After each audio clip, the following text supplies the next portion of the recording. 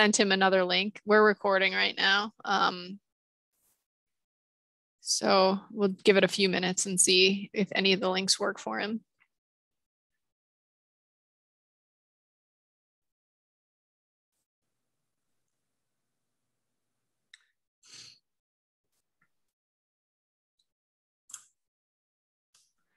Let's really hope that it works because we have a lot to get through.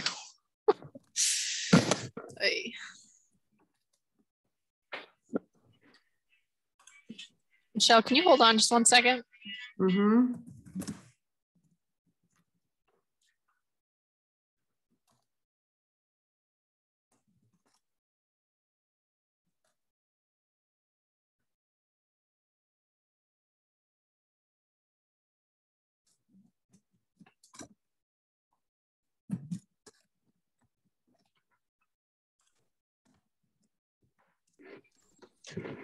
All right. Hey, All right, guys. and how'd you end up getting in? Uh, I honestly don't know. I was about to reboot the whole thing, and then I just got a pop up that said, "Would you like to join as a panelist?" And I would, yes.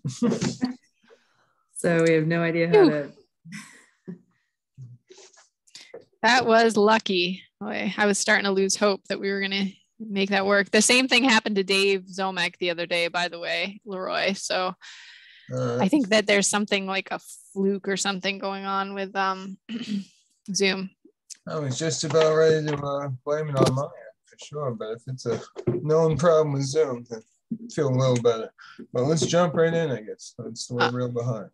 Okay, sounds good. Um, so, um, what I did was I started with an empty shell, basically sort of starting from scratch. And the reason I did that was because I need to go section by section, subsection by subsection, and seeing what's um, what the old regulations look like, what the Wetland Protection Act looks like. In some cases, in most cases, what I did was for sections like performance standards, which performance standards are really important. The performance standards from a regulatory standpoint are what people have to meet when they file a permit. And so those I copied over from the Wetland Protection Act. And then I looked at our old version of the regulations and the ones, the sections, the subsections of um, the performance standards that were different, I copied in. So, so we're consistent now in the sections that I've edited with the Wetland Protection Act, but we still have in those performance standards that were additional from our bylaw. Did anything sub, substant, substantively really change? Um, the pieces, so remember we had talked about this before that um, it, it was almost as if the Wetland Protection Act had been copied and pasted into our bylaw, except there was things that were taken out, things that were added into some sections, and it was really confusing and inconsistent what, what, what was the same and what was different. Now it is consistent, except where there's additional required performance standards, those are added in as additional. So I'm trying to make this as um, clean as possible. So for bank, um, I'm, I still haven't gotten to the preamble for bank yet. Come back to that. Okay, we'll revisit that hopefully at the next session. Definitions of bank are the same as the Wetland Protection Act. They have not changed from the existing bylaw regulations. So I'm just going to move through this and I have these highlighted so that you guys can see what's changed and what has not. Um, presumptions are the same as the Wetland Protection Act, same as previous bylaw, except where this language was adjusted. So previously, um, the way that this was written was not very, um, from a regulatory standpoint, it wasn't really tight. It was basically saying something to the effect of land within 100 feet of bank and 100 feet in riverfront and are likely to be significant. And that is not a good way to write it because we really have to be clear bank of an intermittent stream and land within 200 feet of a bank of a perennial stream. And then I put riverfront area to be clear. So that was like a clarification that I did there to make sure we're talking about um, what we're talking about lines up from a regulatory standpoint. Um, the this um, the general performance standards were made consistent with the Wetland Protection Act here under bank, which there wasn't much of a distinction there, to be honest. Now, there's going to have to be some editing here as far as the references back to the Wetland Protection Act. So bear with me. This is going to have to be looked over by town council. We're going to have to make sure we're referring to the correct sections. Um, but this is mostly just to give you a sense of the shell of this. Um, these are the additional ones, uh, the additional performance standards associated with the existing regulations. So you can see this is a good example section where it's like the top is Wetland Protection Act performance standards, and then the bottom two are the town performance standards. Um, so I'm not sure what would be the easiest way to talk about this. Um,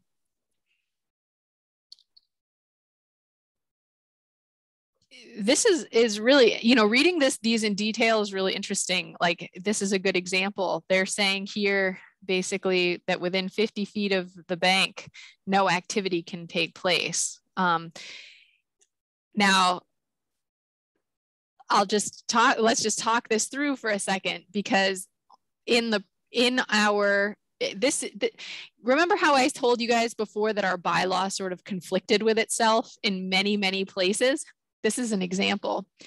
Remember that little table that says people can put a they, there can be dis disturbance up to 35 feet and that single family homes could be built within 50 feet?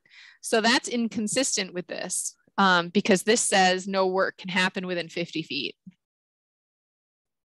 Very important to keep that in mind, um, except as approved on a case by case basis. no structure of any kind shall be permitted on an eroding bank to protect the building or other structure to a permit granted.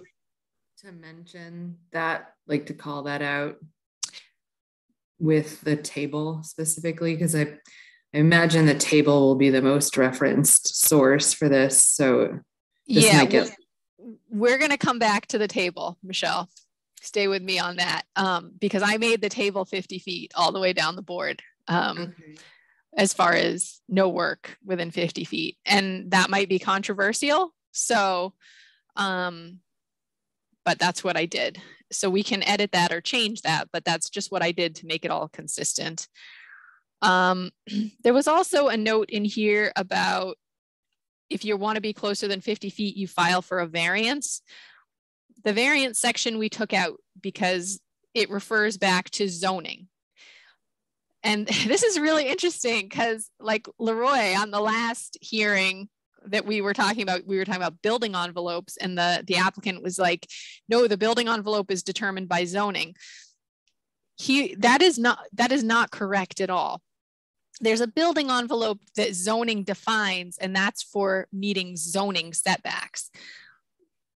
For conservation, the building envelope is completely different. So you were you were 100% correct, Leroy. He was not correct. Um, but anyway, uh, we don't want references to zoning in here or anything that resembles zoning. So we can come back to this. I just want to give you guys a little overview of this and then we can we can discuss. Um, so bordering vegetated wetland, the preamble here, you'll see I did the preamble for this and I did the preamble for isolated vegetated wetlands, which I changed from seasonal wetlands to iso isolated vegetated wetlands to make it consistent with the Wetland Protection Act in terms of how we refer to the resource areas what I did here was you can see the list. I'm just going to scroll back up really quick so you can see this. You can see the list. These are under our local bylaw. These, these values right here are the values that our bylaw protects. There's eight interests under the Wetland Protection Act, seven inland interests, and we have more than what the state has. Um, I think we have 12 or 13 here. So what I did was with our preamble, and the preamble in the Wetland Protection Act is a couple paragraphs, and it usually talks about um, you know how each resource area is um, presumed to be significant to the interests. What i did was i put the interest at the top and then i made a list um, of what the resource area was presumed to be um, significant to as far as um, that specific interest. So i made this section quite a bit longer and i did that because I feel like this is a very important section and that we if if we're going to say that these are our interests and that these are the resource areas that we protect, I think we should be really specific about what how that resource area serves those interests according to our bylaw. Um, so I, I broke those down and this was based on research that I did, which is in your um, that I uploaded to the OneDrive, then that like research folder. Um, Can I make a comment on it when you're? Please do. Yeah. Um, just up to B. I, uh, no, sorry, previous section. Okay. Oh, the numbering um, is off there. I'm glad you pointed that out. Oh, so the first B. Yeah, I know. I these should be in order though, so I've got to fix that.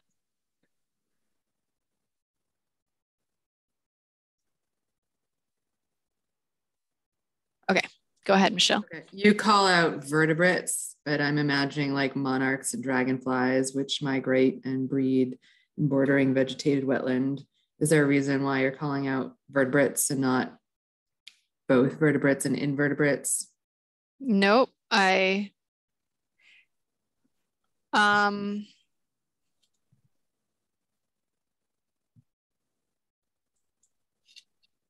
did I spell it wrong? Yeah, remove the okay comma. Remove the comma after vertebrates, and then it looks. What'd you say? The comma after vertebrates can be removed. There you go. Yep. Yep. That was a good catch. Please, anything you see like that.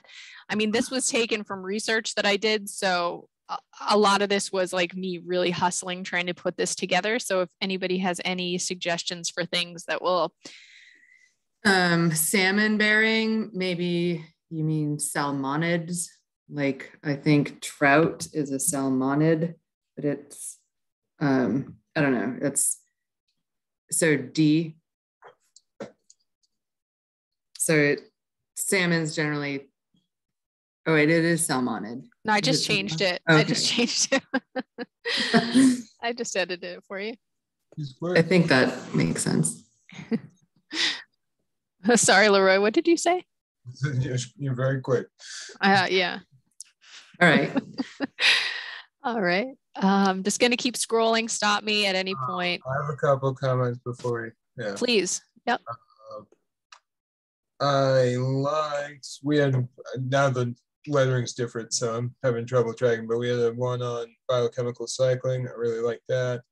Um, we had one on nutrient processing. I really like that overall, I like this heading system. It's easy to like track back to the original table. I think that'll make it a lot easier for the public to read.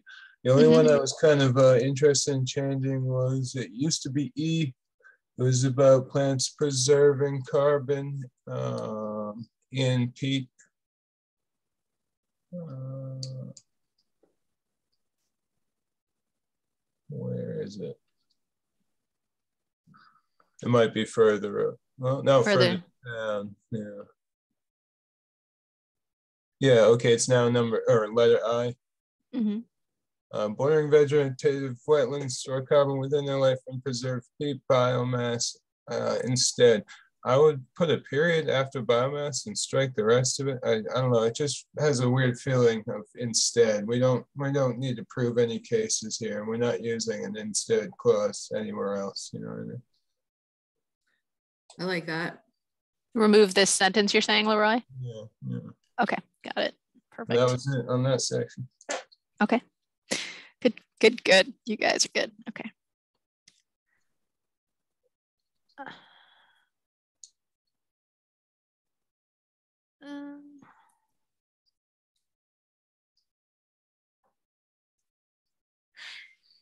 Okay, so definitions were made consistent here with the Wetland Protection Act.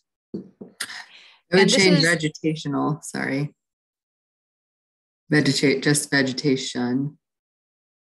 So that's a copy and paste from the Wetland Protection Act. Really? Okay, I've never ever seen that word before, but if that, Yeah. if they say so.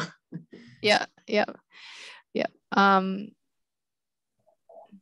Sorry. That's okay. No, no, no. It's good. It's all good. Any comments you guys have? There's no no bad comments here. Okay, so again, through E is Wetland Protection Act, and then F, G are specific to our bylaw. Now, do you see the flow of this? How much better it is? Like to me, this is so much better because it's clear they have to meet everything in the Wetland Protection Act, but then we have additional requirements at the bottom. Um,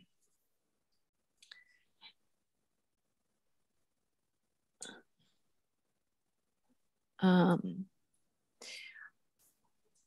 all right, so presumptions, no change from existing. Those are all good. Performance standards, again, consistent with the Wetland Protection Act, except where underlined. Um, okay, so under the Wetland Protection Act, it's one restoration, or I'm sorry, replication. So you guys understand the difference between replication and restoration, right?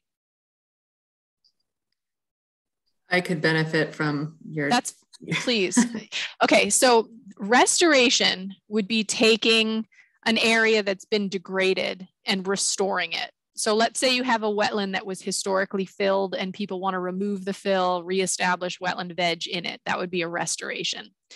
Replication would be if the project is damaging wetlands, filling wetlands, altering wetlands, and to compensate for the loss of the wetland that we are recreating a new wetland, ah, redesigning and constructing. mitigation is the term that I.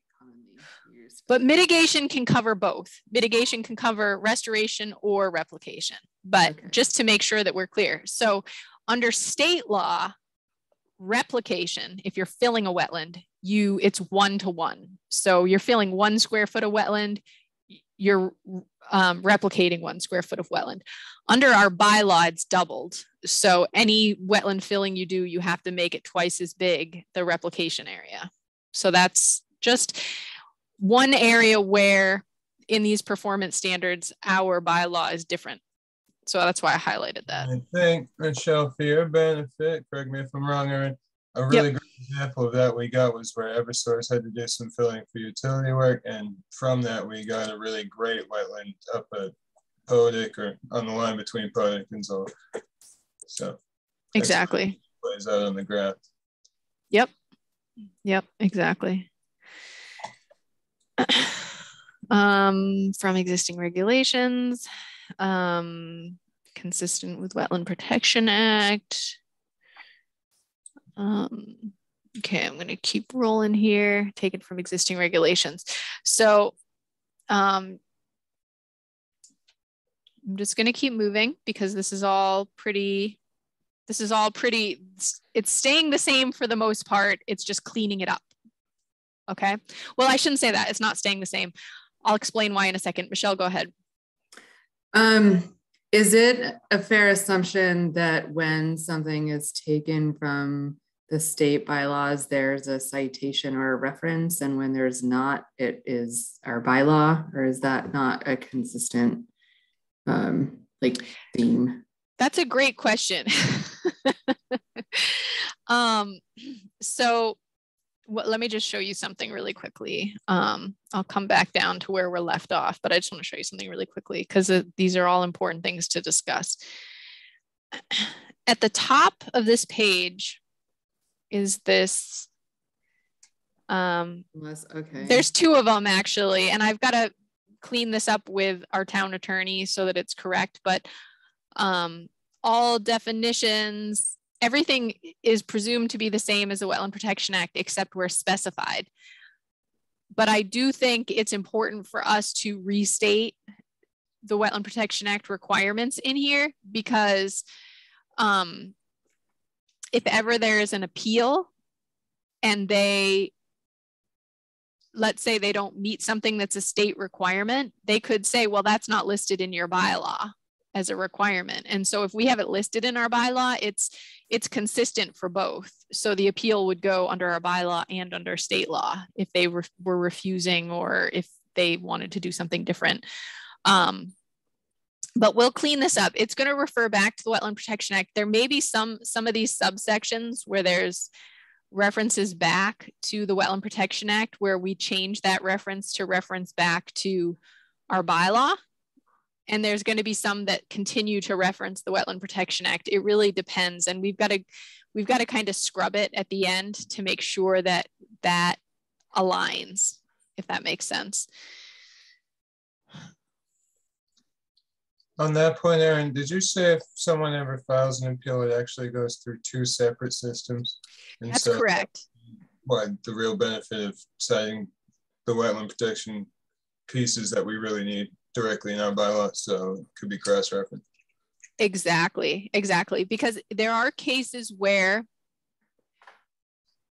th there's an appeal and they just appeal under the Wetland Protection Act, but they don't appeal under our bylaw or vice versa. They just appeal under our bylaw and they don't appeal under the Wetlands Protection Act.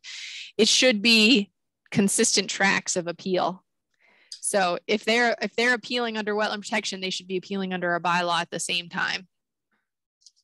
Gotcha. Unless they're the only the only thing that should be different is if they're only appealing something more strict under our bylaw that they disagree with or think is unfair. Okay, so let's come, it, eh, Michelle, tell me, or did I answer your question? Yeah, I'm just trying to follow. I guess, like when you said, uh, is it A and B down here that you were saying like at the at the top of this page, these are these are bylaw. Um, you don't actually say we don't actually give the qualifier that it's the bylaw, right? so I don't know, just as long as the other, as uh, if otherwise specified is consistent. Um, like, do we have to say under the bylaw, blah, blah, blah, blah, blah. I'll, I'm, you mean that you mean the statements at the top of the page? The statement at the top of the page that it's, you know, unless otherwise specified, it's all consistent with the state wetlands and then, but there are just sort of like these text paragraphs that are uh, more stringent under our bylaw. Mm-hmm. We don't specifically say that they are specific to the bylaw. But that's oh, fine. I see what you're saying. Okay. Well, eh, you know, maybe we want to do that. Maybe we want to say something like this. It would be helpful for like so Leroy has a lot more experience than me. So I, I feel like I'm maybe more of like a public eye on this that doesn't used to reading it. But I mean, is there any downside to being super specific about? I don't think so. No, I think that's a great point, actually. Um, and I think that that could make it easier for people when they're reading this too to understand which ones are different. I can go through and and just say bylaw only or something, or I'll I'll, I'll ask the town counts town attorney how to refer to those. Um, yeah, I mean, if it works the way that it's written, just I don't know, it just mm-hmm. seems. Mm-hmm. No, I'm being. I think it's a good idea. Yeah, yeah, I think that's kind of a cool idea. Okay, so let me explain something else that I did. A pretty pretty substantive change here. Um, so one of the things, again, trying to make this consistent with the Wetland Protection Act, one of the things I did not like about our bylaw regulations was it was like bordering vegetated wetlands and isolated vegetated wetlands were in one section together, broken out.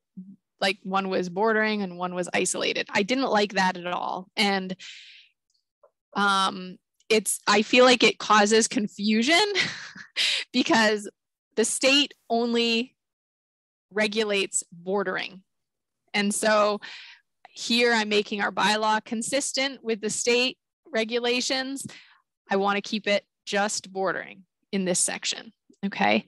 And then what I did, show you this. And and there we may need to do some edits to this section because it's it's very confusing. Um, and i was sort of spitballing. I don't really know any other way to say this. Like i was kind of figuring this out as i go how to make this better um, work better. So here is the next section, which is isolated vegetated wetlands. And then what I tried to do here, because there wasn't very much reference to what was an isolated wetland, I tried to highlight or name any kind of isolated vegetated wetland that would exist in, in Amherst, like any possible one again, we can add more to that. But we had also sort of talked or brainstormed that we might separate out vernal pools from being an isolated wetland. And after a lot of thought and consideration, I'm not sure that that's the way to go. However, um,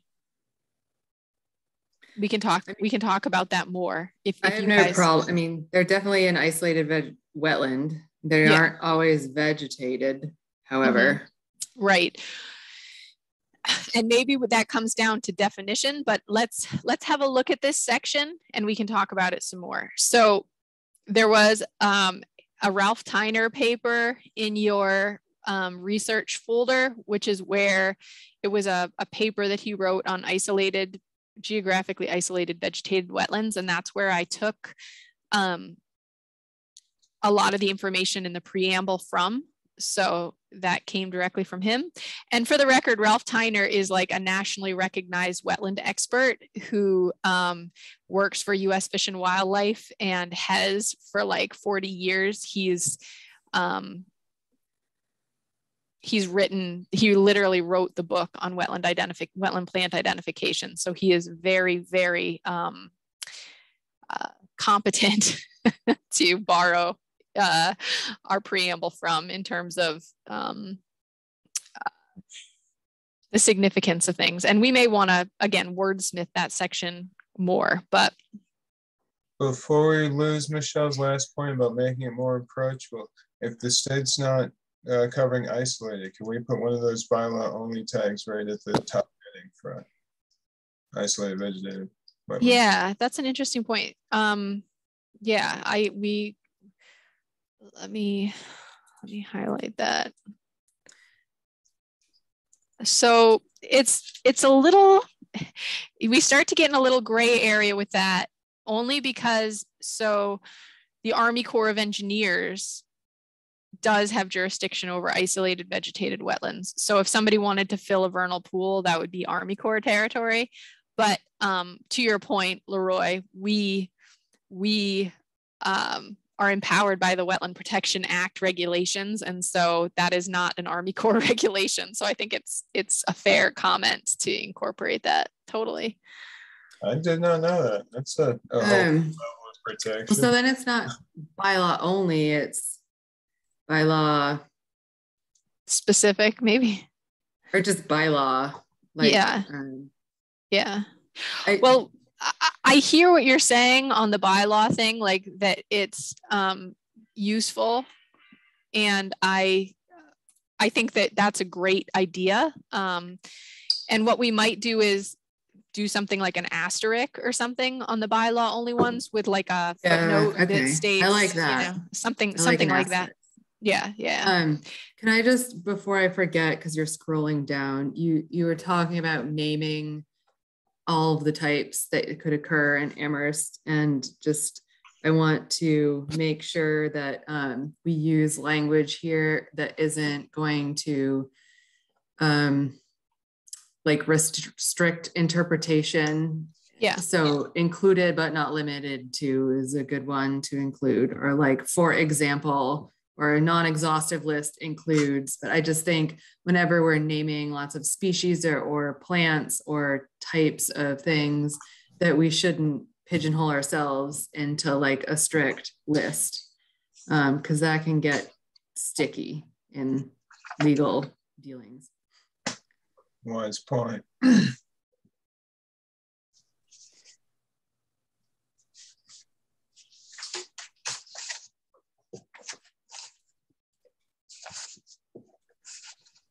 Okay. I will make a point to include that under BVW as well. But yeah, I think that's a great, a great catch too. Okay, so this is good. Um, all right, so definitions. Um,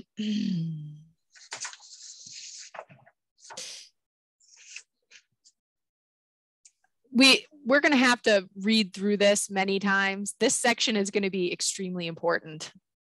And I made this an extremely strict section. I'll be completely straight up about that. I made it a very strict section.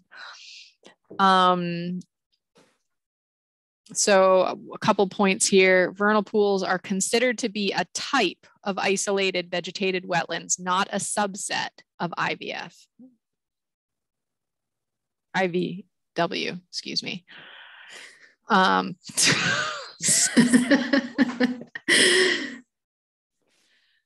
um, and one, and these are just notes to myself. We have to check back on the definition section because we have a definition under the definition section that has to be consistent with this. So I want to make sure we check back on that, which I didn't do. And then I also um, edited this section based on the Ralph Tiner paper as well. Um, so there's there's multiple things referenced here. And so this is an, a section I want to spend a little time on if you guys don't mind stop me at any time. And if anybody has anything they want to change or anything, please. So the first is A, just to say what is an isolated vegetated wetland, um, surrounded by upland, has hydrophytic plant communities surrounded by terrestrial plant communities. Now, Michelle made a good point that vernal pools aren't always vegetated. So, yeah, they're definitely not. I mean, like, if you go up on the power lines right now, there's tons, well, not yet, but there'll be tons of toads breeding in like dirt basins that have no vegetation. But if a stick falls in it, they can still attach eggs. So mm-hmm. I'm I'm kind of concerned about how to ex, you know, I mean, they're called isolated vegetation, vegetated wetlands, but not necessarily like having if, if a condition is to have plant communities and a forested wetland may not and that's like a accepted definition of a forest wetland that you know it might have too acidic soils to have any plant communities so just having some qualifier in there that it can account for that. I definitely would like to make sure that we're covering those kinds of wetlands there we go. um, the other thing is we can completely change the name. Um, I mean, so then may or may not have hydrophytic phytic plant communities. i so it still is insinuating that there might be plant communities. So I, I think may or may not be vegetated, just like the like just the example of a forest wetland i don't know that you'd consider them vegetated because they're surrounded they might be surrounded by well, like hemlock trees. yeah and and i think to your point michelle the the way to approach this might be to just call this section oh, sorry i keep scrolling. Just to call it isolated wetlands. I was just thinking that yeah. If Just it's take out not. Yeah, I didn't know if that was like a solid definition that we had to lean on, but that works. I mean, the Wetland Protection Act does refer to isolated vegetated wetlands, and that's why I used that. okay, But the Wetland Protection Act doesn't regulate them. So um, I think it's fair for us to use something different under our bylaw. Um, let me just make a note to myself here. Um, remove vegetated throughout. Okay. Let's just go with that for right now because I think that's the easiest way to go. So um, when we get down to definitions, I'll edit that.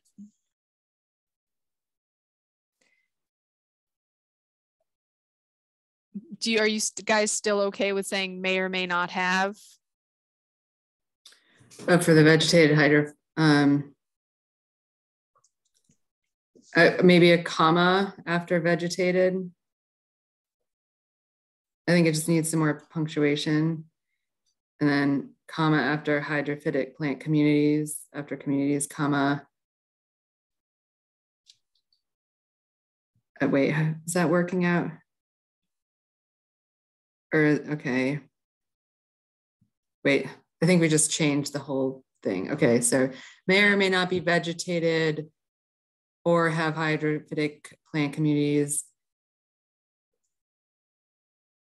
and is surrounded by terrestrial plant communities. I mean, Should we do, should we do um, a semicolon instead? May or may not be vegetated. May have hydrophytic plant communities. I mean, sort of. Is um, that better? Yeah, so then the surrounded by terrestrial plant communities, like, I'm almost wondering if we can drop it. It's kind of inherent in the definition of isolated, but it, yeah, because then what is surrounded, like what's that buffer? And then it gets, I don't know, is it necessary? Uh, Well, I, I want to hear what the full of what Leroy was about to say because Michelle, you interrupted him. Go ahead, Leroy. no, not really. I'm just add add to the mine stream here. is There would be a buffer in the soil line, you know. We could draw the line at hydric soils as opposed to where the plant community is. Yeah, that's a good question. Wondering if if vernal pools always have hydric soils. Good point. Let me, you know what, I'd like to ask, I'm going to make a note here to talk to, um, I want to ask somebody who specializes in this. Um,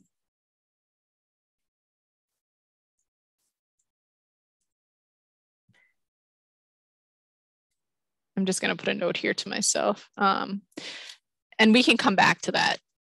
I mostly just wanted to get something like a base Go ahead, sorry. a basic definition going, but I, I see that there's already confusion about it. And so I think I need to talk to somebody who can give me a little more regulatory and, um, you know, uh, field-based science to substantiate what we're, what we're um, defining here. And I'll, I'll, we'll come back to that, okay? So this is the other thing. Another inconsistency in our bylaw regs was in one place it stated must be a minimum of 500 square feet. And in another location, it says has no minimum threshold size. I went with no minimum threshold size. Um, I mean, I think that 500 square feet is there to prevent people from saying like, oh, there's a puddle in my driveway and it's a vernal pool. Um, but I included that in here as no minimum threshold size so that if there's something that the commission feels is a resource area and is isolated, that we're not restricted. Are, so, but, okay, now I'm just worried that by saying that it doesn't have to be vegetated and there's no minimum size, that we're allowing puddles to be isolated wetlands, is that, have we gone overboard? Well, that is the that is the question, you know. Um, I guess your specialist person might help yeah. us with defining. Okay. What, yeah. Yeah, definitely check with specialists, but I'm also nervous about no minimum. I won't lie. Um, even a hundred square foot minimum puts you at 10 by 10 ponds. That would cover us for most everything we're thinking about. You know what I mean? Mm-hmm. I mean, so the, yeah, I just, what if, I don't know, can this be a, uh, evaluated like on like ecological function and size like well so this isn't the only definition there's a lot more definitions so this is just one section of the definition um, so maybe it would help to go through Sorry.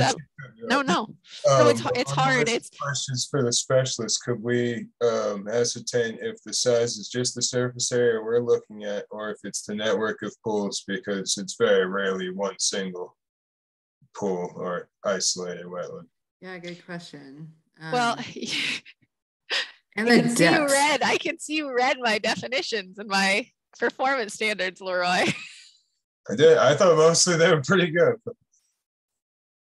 Yeah, depths. That's good. Good. Good. Good. That is a that was that was one of them that I read that I really liked is uh, our ability to track their connections under the soil is protected. Mm-hmm. Mm-hmm.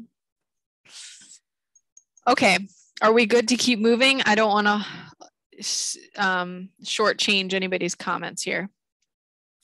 I think we just we have sort of a growing list of questions about how to define isolated wetlands, and mm-hmm. maybe just keeping track of them in your little comment box there, and mm-hmm. and um, yep. yeah, okay, I'm ready. Okay, so what I was trying to do here is be all encompassing. So they can be geographically isolated riparian wetlands that are associated with certain watersheds. So they might be connected subsurface to a river that's close by, but it's also isolated in that it doesn't have, it, it's surrounded by upland, right? Um, forming in basins, forming in, on flats, forming on slopes. They can form anywhere. Um, I don't want to restrict and just say these are basins when they can form, you know, it could be a, a hillside seep here that we're talking about. Um, they can be artific- artificially created ponds. People do this all the time. They create, they build a pond in their backyard. It turns into a resource area. All of a sudden, you got frogs and stuff living in it. You've got a resource area. Um, and I, I think that later on we talk to make sure that we're not talking about stormwater here. If this was a intentionally constructed stormwater basin, that's not something we're going to take um, jurisdiction over unless the state does take jurisdiction over some stormwater um, systems that have over time converted to wetlands. Um, but there's there's like a timeline to that. Like it's it's it's um, stormwater systems that are constructed after a certain date are stormwater systems, regardless of whether they turn into resource areas, because that's how they were designed. And if they if they fail, then it's going to cause damage um, to others. So it's important. Um, isolated veg. This is an important one. Isolated vegetative wetlands can form as a result of fragmentation of the natural landscape by human development like levee construction, road construction, urban development, agricultural drainage, altered river hydrology, controlled flooding by upstream dams, or river diversions. I see this all the time. There used to be a BVW, somebody put a road right through it, and then they're saying, oh, there's an ice, that's an isolated one on the other side. They cut off the hydraulic, the hydraulic connection. So it is isolated now, but it was done so by humans. I'm gonna add suburban and urban since that's like my neighborhood.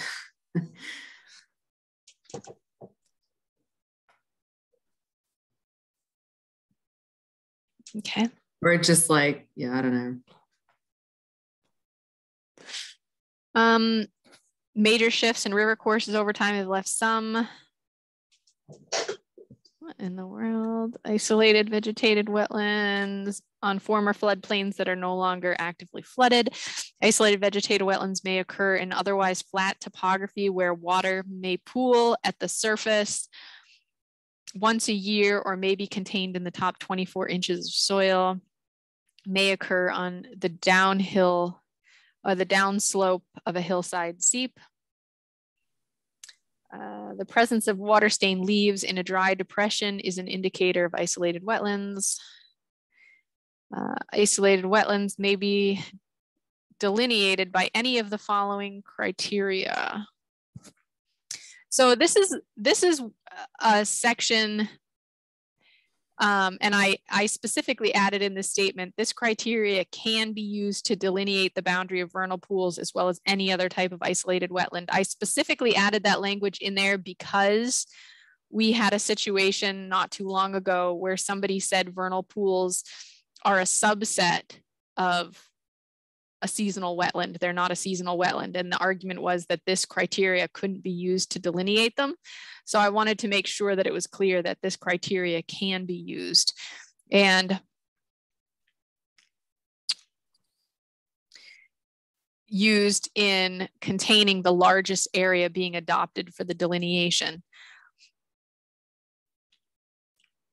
And this was all taken from our previous bylaw, this whole section, or from our previous bylaw regulations, this whole section of these delineation. I just changed the added in the vernal pool element to make that clear. Woodland vernal pools are often seasonal ponds that are inundated during the wet season, usually from late fall to mid or late summer. Vernal pools may dry out every year or less often, thereby precluding the establishment of fish populations, making these pools extremely productive sites for amphibian reproduction. Species dependent on vernal pools for breeding, and then there's a list of species. okay. So, um, um, again, with the species list, maybe a may include, or do you have toad in there? Like, I don't know. I just want to protect the list from not necessarily being complete. And where it says uh, include, you can just put included but not limited to. Yeah. But you might want to add toad.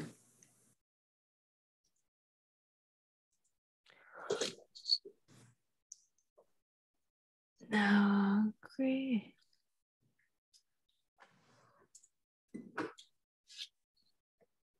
Is that American toad? Michelle? Yeah. Yes. Yep.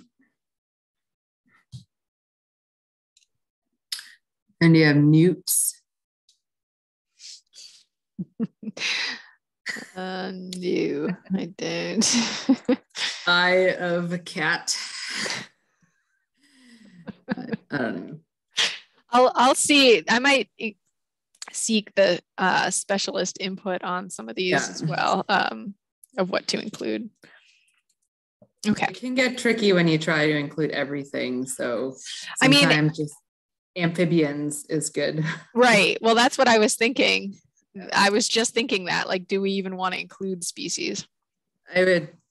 I probably wouldn't, just because then uh, you're making more work for yourself, mm-hmm. and you know I don't see why can't you just include amphibians?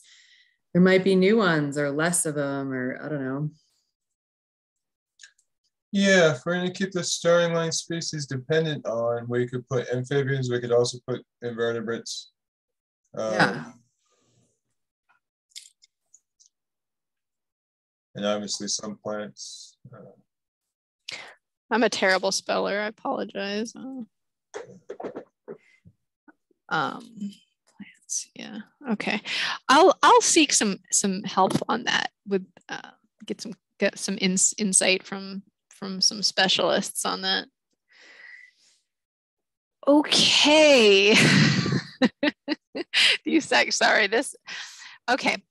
Presumptions. I'm just going to read through this, you guys, because I think these are really important sections. Um, where proposed activity involves removing, filling, dredging, or otherwise altering an isolated wetland, the commission shall presume that such an area as well as the area within 100 feet of the mean annual boundary. I don't really like that. Mean boundary. I'm going to say of the delineated boundary. um, of said wetland is significant to the interests of the preamble and in the case of vernal pools to the protection of wildlife habitat, particularly amphibian breeding habitat. That was taken from our existing regs. Isolated wetlands are presumed to be significant to the prevention of flooding, flood damage, protection of public and private water supplies, groundwater, and prevention of pollution. That was also taken from our current regs. Just before we go any further on that first one, A. Mm -hmm. Uh, and in the case of vernal pools, if we are really trying to make that transition to vernal pools as a type instead of a subset, should we even have a line that states anything separately about vernal pools? You know, I mean, should we maybe strike that line entirely? Because otherwise, it almost reinforces the idea that vernal pools are a subset or that's a good point. Mm-hmm. I mean, I, vernal pools do protect wildlife habitat and amphibian breeding habitat, but so do other kinds of isolated wetlands. So I'm also wondering if we do. Okay, yeah, or another one for vernals. Yeah. Yeah. I hear where you're what you're saying though, Leroy. I think I've I've I waffled back and forth constantly on this section. Do I pull vernal pools out of here? Do I keep it separate? Um, I think there's value in having them grouped together though, those types, even though they're very different types. Um, so let's let's keep that in the back of our minds, but keep going. And if we, you know, if if we want to reevaluate that, we can.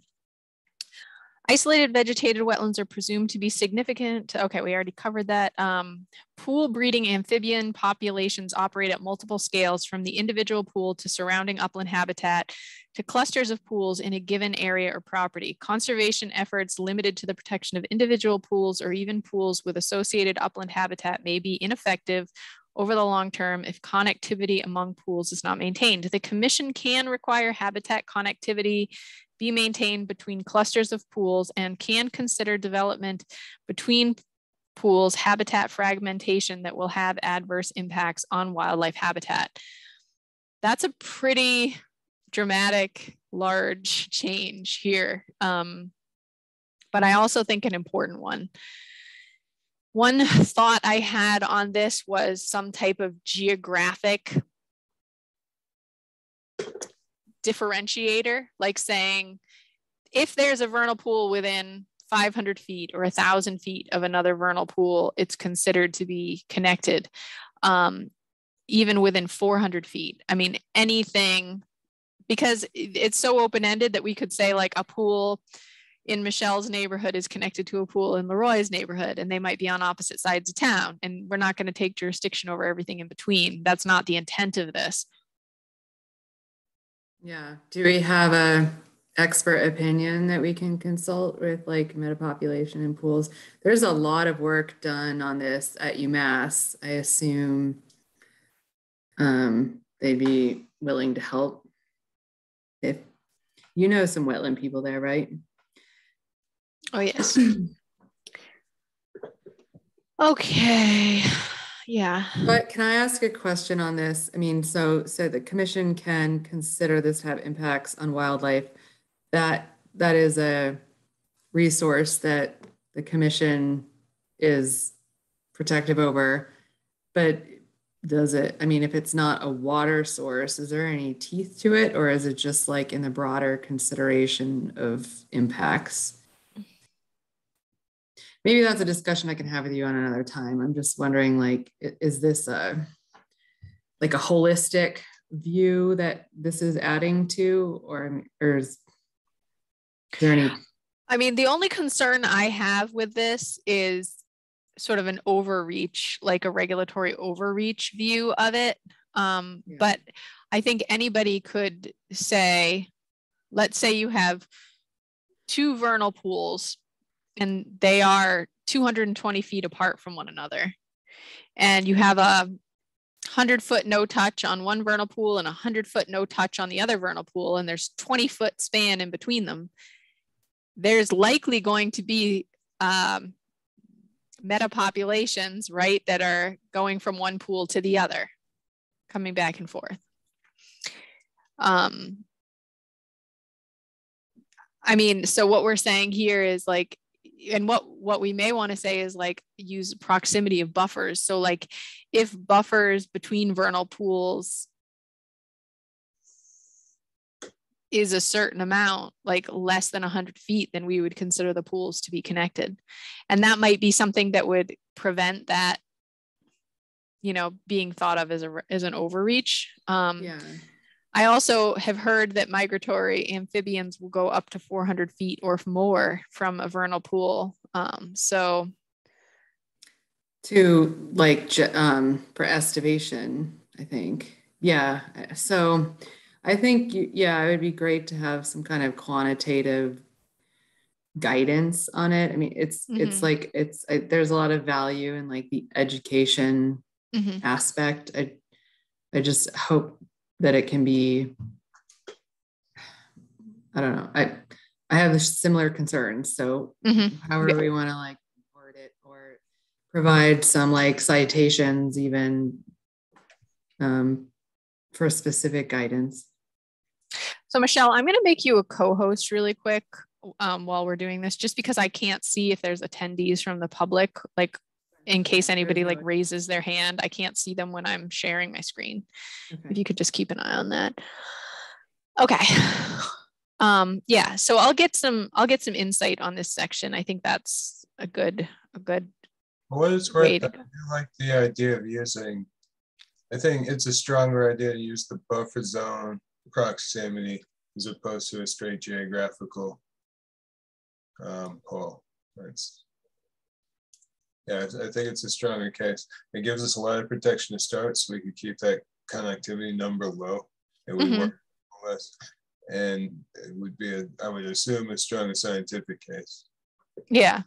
No, I think that's totally what I you know where I would be coming from on it to give us a, uh sort of a more consistent um, something to point to. Um, so I just uh, um, I added in some information here um, just to make it clear that upland forest is very important to these resources. Um, if connectivity among vernal pools is interrupted, natural dispersal that enables recolonization, rescue efforts, and gene flow of species will be adversely impacted. Protecting individual pools without protecting adjacent upland habitat does little for even short-term persistence of populations of breeding amphibians. Woodlands surrounding vernal pools are significant to provide habitat for juveniles and adult salamanders. Forests surrounding vernal pools provide critical habitats for amphibian survival and are important for the for the conservation of biodiversity. Some of these are I feel a little Redundant. dupli- yeah, redundant. Exactly. Um, Yeah, I think that some some could be like eliminated or consolidated, uh, like the up the surrounding upland. Um, I don't it, I don't know if now is the time to do it. but, Yeah. um, it's all good stuff, but yeah, it seems Yeah. like you could combine things, and the first paragraph sort of takes care of some of it too. Consolidate redundant sections. Okay.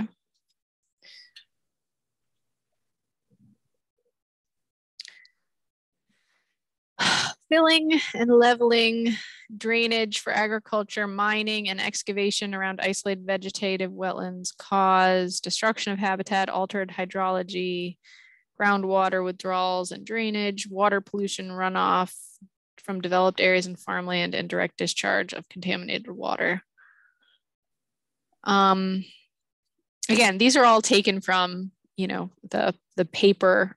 So this is all stuff that's pretty What about um groundwater? Oh wait, groundwater withdrawals and drainage.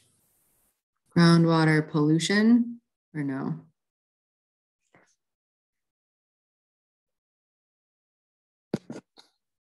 um I mean, agricultural activities on a wetland could cert, it seems to me like depending on soil types could affect like a residence nearby uh, groundwater, like sandy soils.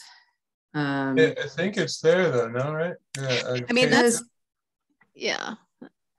Groundwater withdrawals. it- well, it says contaminated water. So let me go back up to something, Michelle, that I think might um, get out what you're saying. Um, so this is in the preamble. Okay, if it's there, groundwater. Uh, isolated vegetated wetlands serve as recharge and discharge areas contributing to both local groundwater flow and regional flow. Seasonal changes and functions may occur with some wetlands contributing to groundwater during high water periods. Okay, so I guess I'm seeing a lot of like recharge and levels of groundwater, but there isn't a connection between the groundwater and the pollution. That's that's the one that I was just going for. Like they seem to be Okay, let me Slightly. get back to. So water pollution, and all that good stuff. Uh, water pollution, e.g., runoff from developed areas and farmland, direct discharge of contaminated. Michelle, we can't hear you. Oh, maybe just add contaminated groundwater to that list of EGs underwater Right here? pollution. This Yeah. one. Yeah. runoff from developed areas and farmland, direct discharge of contaminated water, and what was the, what, I'm sorry, could you just restate that? Um, Polluted water you wanted to add? um, groundwater contamination.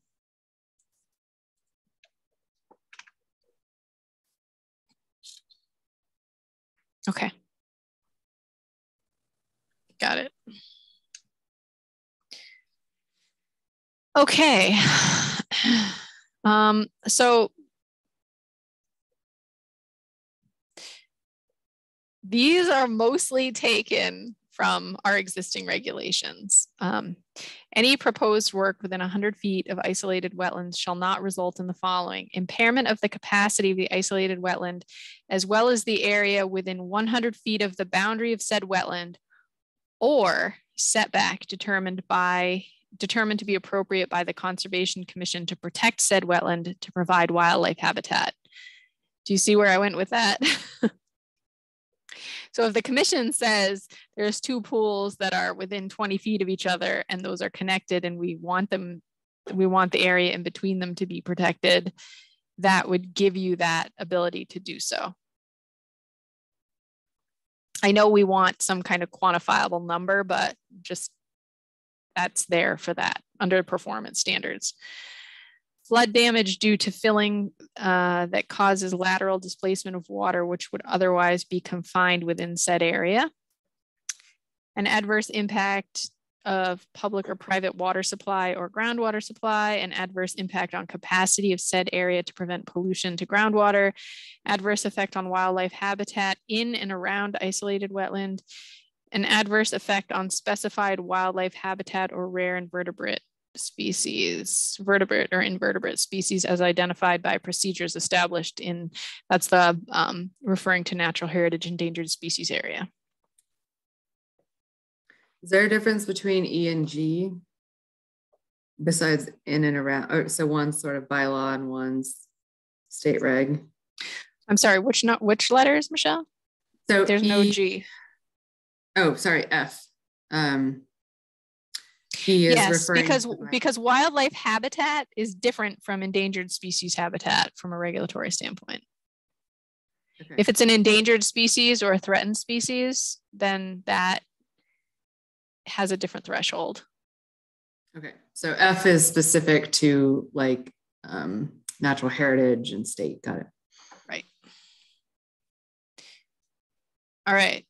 You guys good? Can I keep going? Uh, I was just wondering about B. I feel like we get a lot of pushback on this one from all sides, from neighbors, from developers. Mhm. So I guess my question is, how solid is this? You said it's from our bylaw originally. Is this also backed up by the state? It seems like it would be, right? It's backed up by the Army Corps. All right, that's good enough for me. So if somebody wanted to fill a vernal pool, they're in Army Corps territory, they would have to file a permit with the Army Corps of Engineers.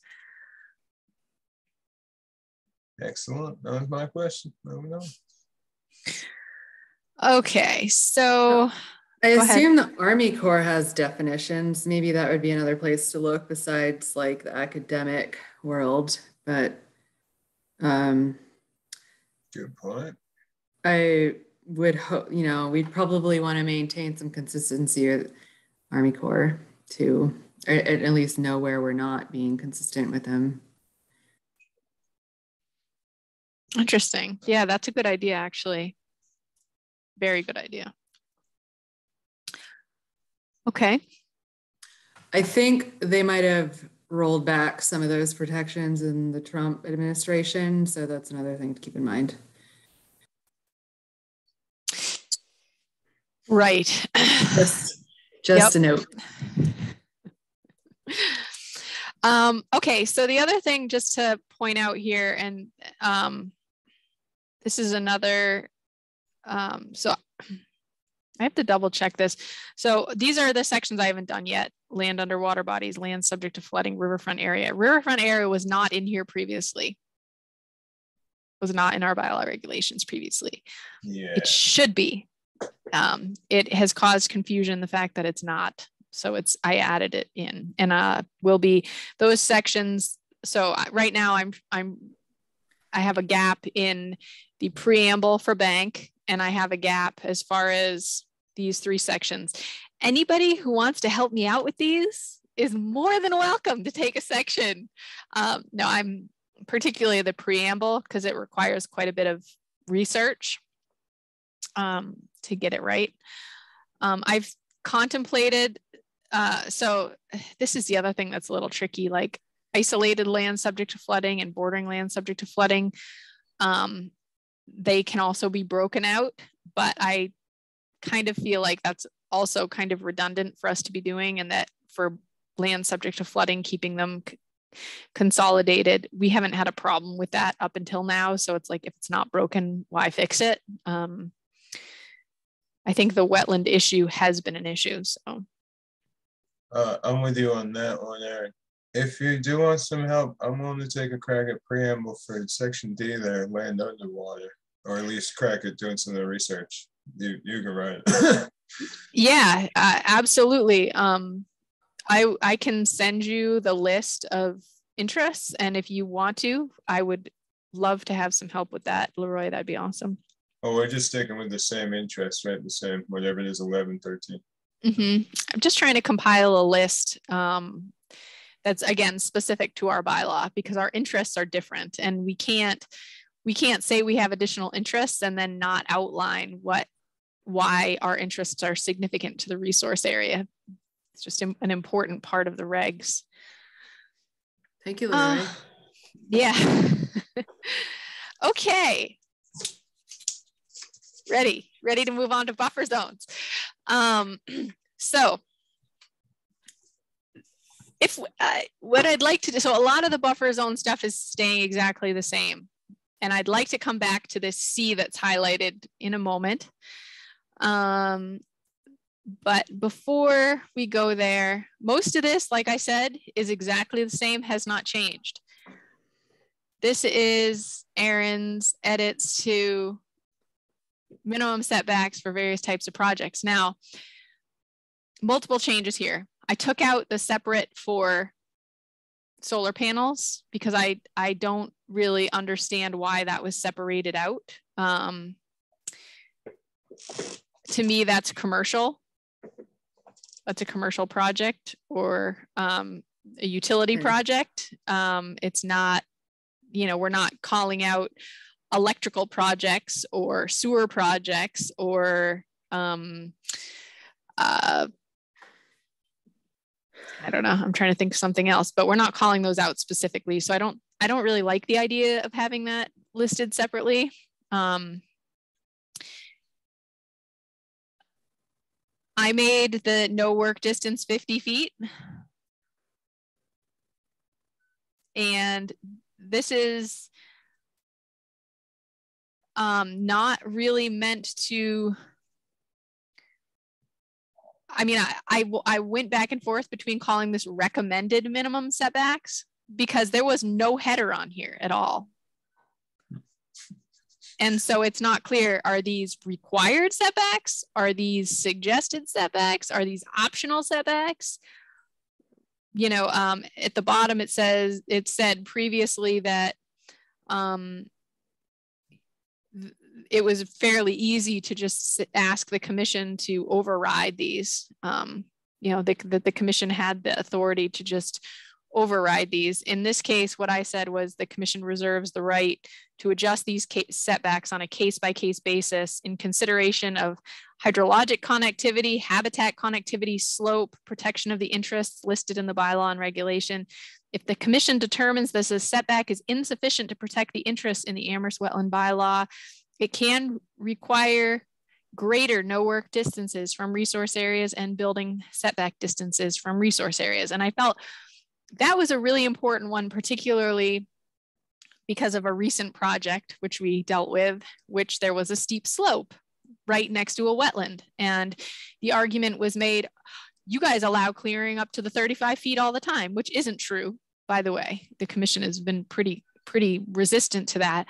But there was a steep slope, which is a, you know, a topographic difference between many projects that we deal with. And so talking about slope the same as we talk about a flat piece of property, I feel like is a real problem. Um, and then um, is that chart now consistent? As in, is there anywhere else now in the bylaw where it does still say 35 foot and we have 50 on the chart? For no work? Well, so it's now consistent with the bank section where it already stated that um, there was no work allowed within 50 feet. So the bank section is a section where um, that was already in our regs. Um, we do have specified in another section, which is like our guidance on permit filings, that if you're within 50 feet, you need a notice of intent. If you're over 50 feet away, you can file a request for determination, depending on project, of course. Um,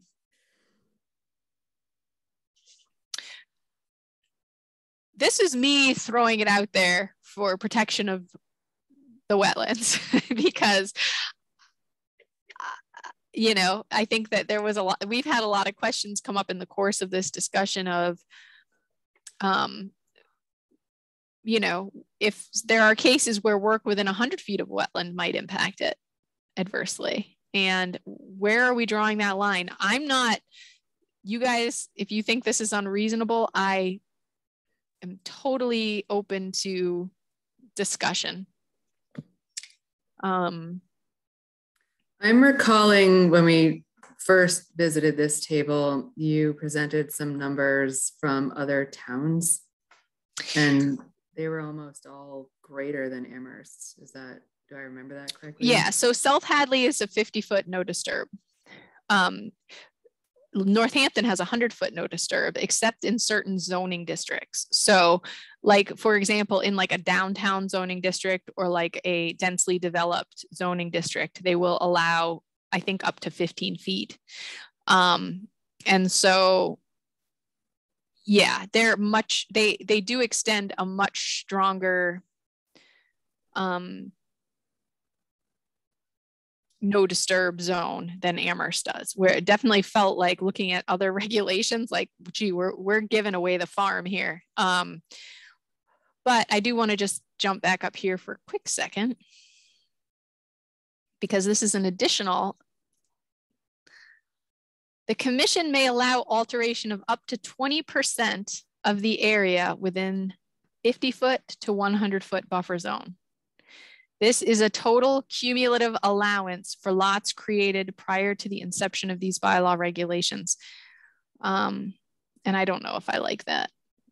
I we might just say want to say total cumulative allowance. Um, the proposed work must have no significant adverse impact on the resource area and the applicant must provide evidence deemed sufficient by the commission that the area being disturbed will not harm the resource area values protected by this bylaw. This is taken from Northampton. And I really liked this because just because we say you can alter up to right now 35 feet, no disturb. Doesn't mean you should be leveling that area and removing every tree. And so you can be that close, but you can't alter the whole thing on the entire extent of the property. Yeah, I see the point there. I like that. Um, there's, if we allow, I don't know if that's actually a variance, but if we allow that, there's certainly like different levels of developing that would have different levels of impact. And I just like the way that's written, I guess. And also, like, it adds some quantitative measure with the with the total cumulative allowance, which is good guidance, I think, for the project proponent and the commission.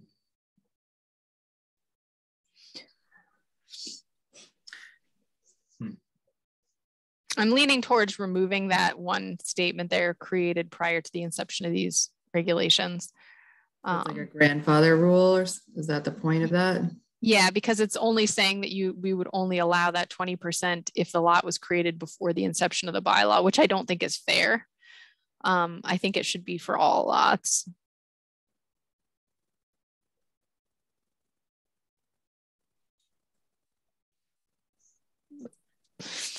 Anyway, so those are changes I made. Those are changes I made to this buffer zone um, section. And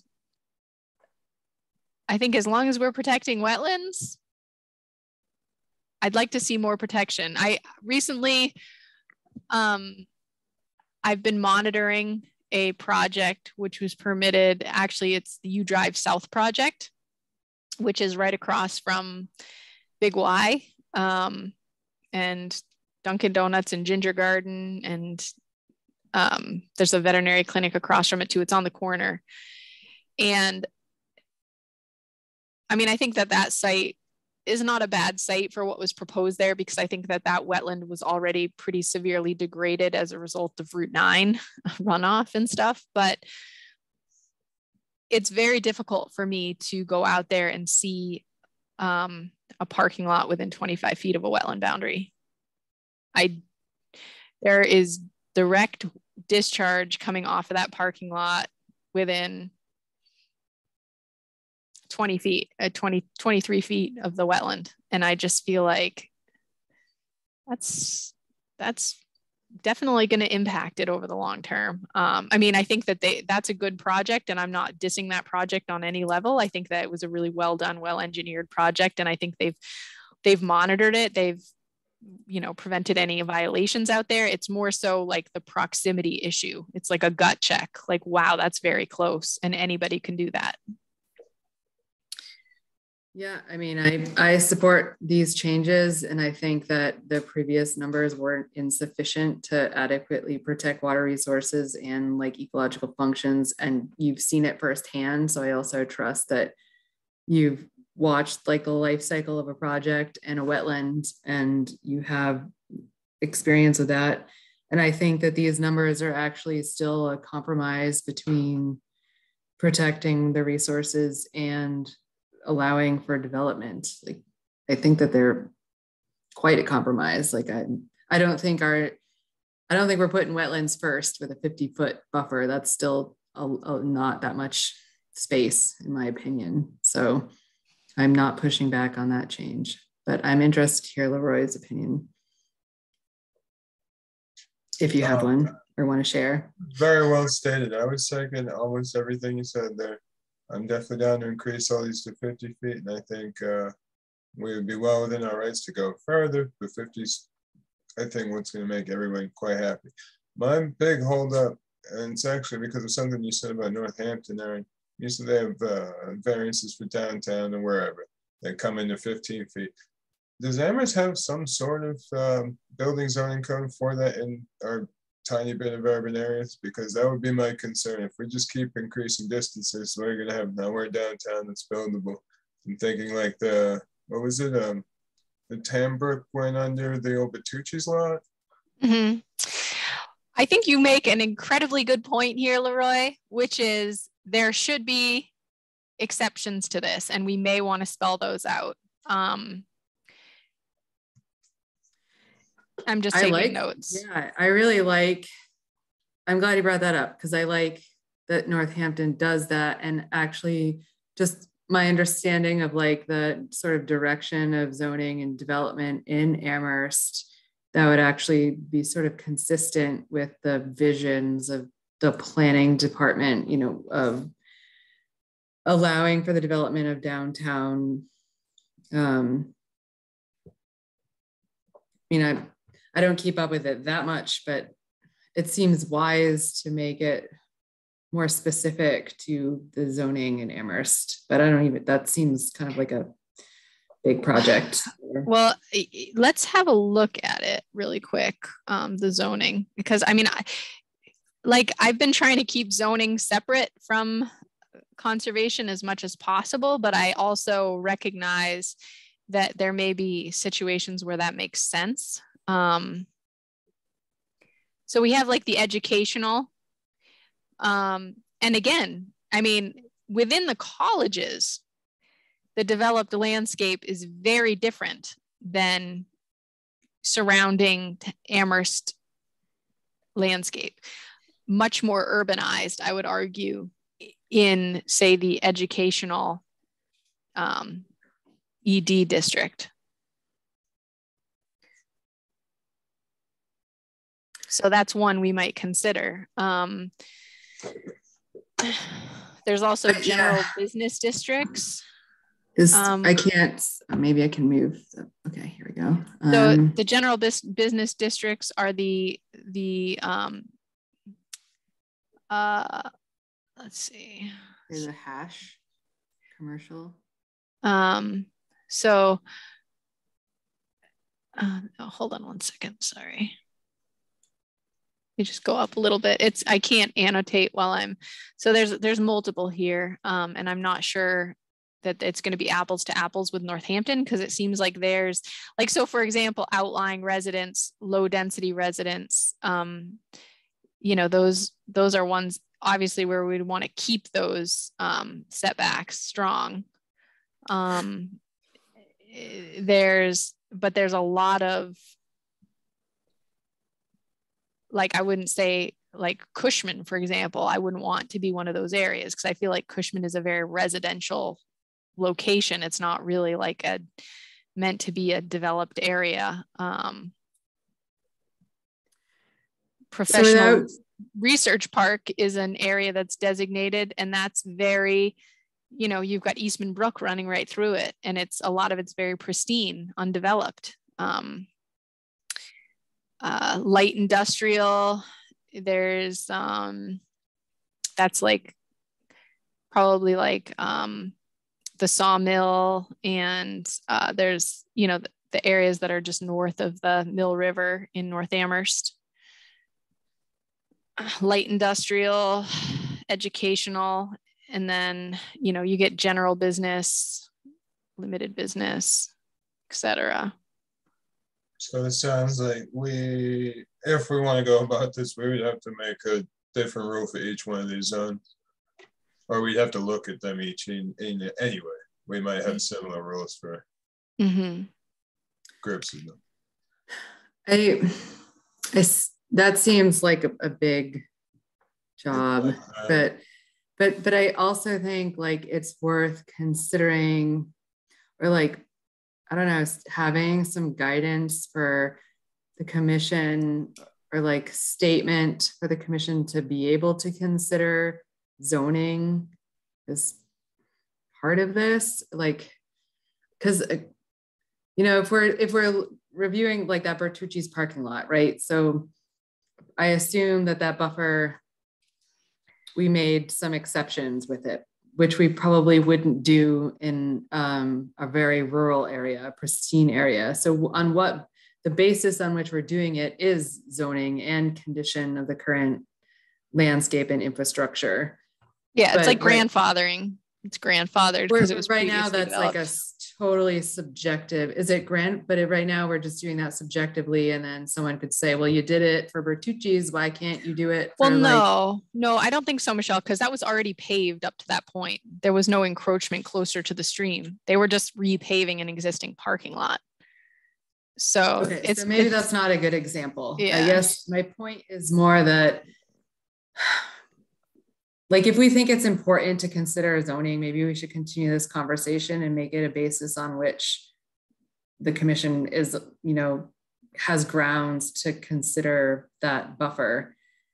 Just because it's not apples to apples with the zoning. Like I, you know, I don't know. I haven't thought that out very much, but it um right now we're supposed to be considering it all on the same plane, right? But it but it isn't. Um, mm-hmm. Anyway, I don't have more to add to that right now, but it, it's an interesting consideration. Yeah, yeah, I I'm in agreement, and like I would I would say um,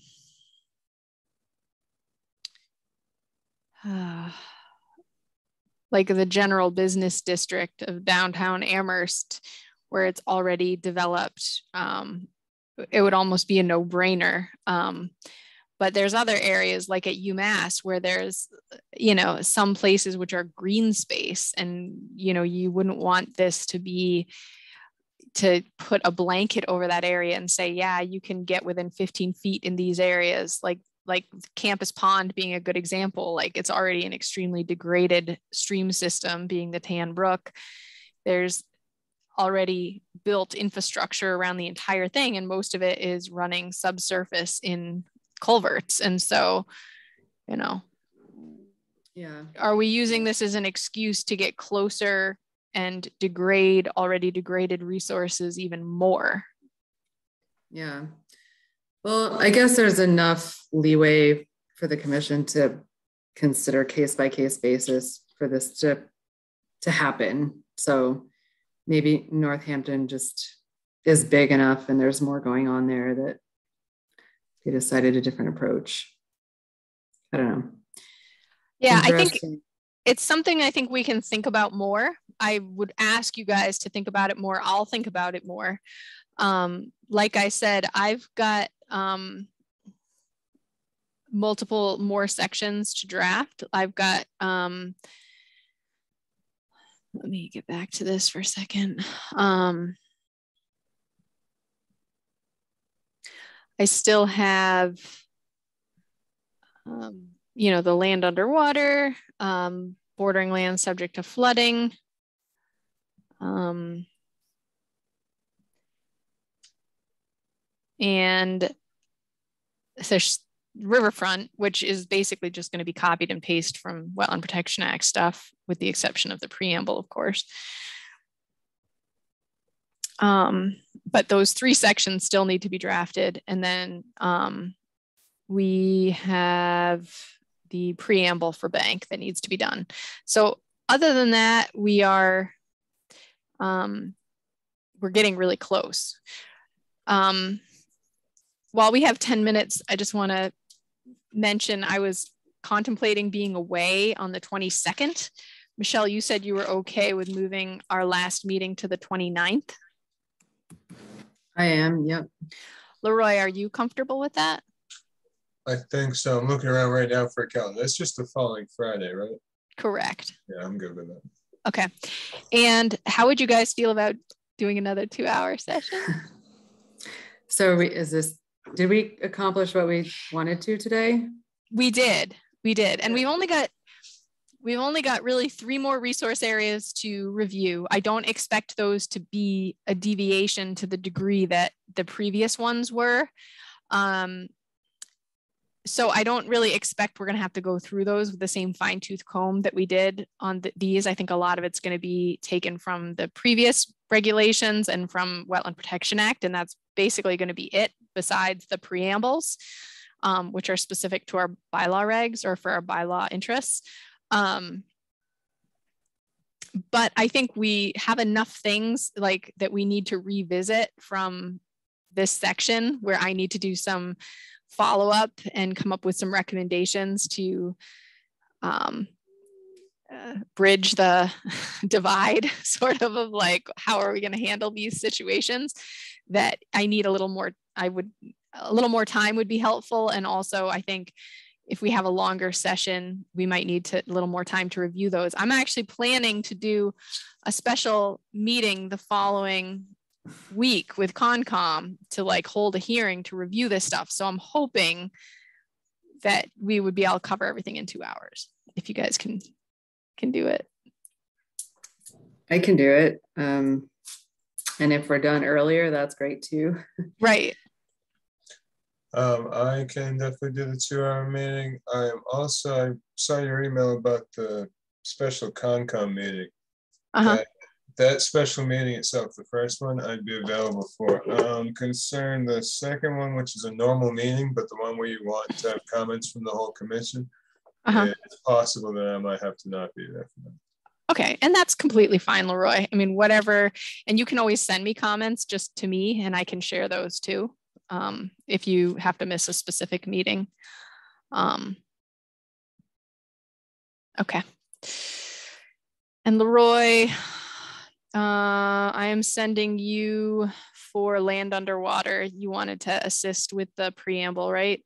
Yes, please. All right, great. Um, any other comments folks want to make today on this? I don't know. We started late. We got out early. That's not bad. Yeah, I have to. Um, yeah, I, I don't have any other comments. Okay. All right, guys. Well, thank you so Oh, oh, much. This this will be quick. So I just I want to um, thank Leroy and you. What? Wait, did you have something to say? I just wanted to say quickly, I don't think we actually formally reviewed sections five and six, which is just conclusion, but I saw no problems with those. Because I know last time I had not looked over five or six at all. But Oh, five and six of the um, The the regulations you haven't looked at? They were- yeah, six mm-hmm. is conclusion and then five is right before that, I forget. Okay. Okay, so that's good that we have a two hour session next time. I'm, so we'll try to get through as many comments as we can at the next two hour session. What we don't get through, I think I'm just gonna take what we have, get it as close as I can, highlight outstanding questions or changes that we might want to make to certain sections, and then just take it to the full board. Try to power through it. I mean, I don't know what else we can do at this point because we're coming up against the end of April. Um, but if you also have comments on those sections and you want to send me edits, please, by all means, um, just make sure you just send them to me and I'm happy to incorporate things. Did you And send us those? Do we have those? They should be in the OneDrive. Okay. Michelle, you were going to say something too. Oh, I was just going to close the meeting, but before that, I realized that we didn't open the meeting. Um, well, acknowledging we didn't open the meeting, I would say that it started at uh, recording. And so um, now we're, I'm not sure exactly what time that was due to technical difficulties, but we can close the meeting at 1:54. Did I get my time right? You got it. Um, Got it. April 1st. Thank you, Leroy. Thank you, Aaron. I'll Thank see you guys next week. Thank you guys. Take care. Bye-bye.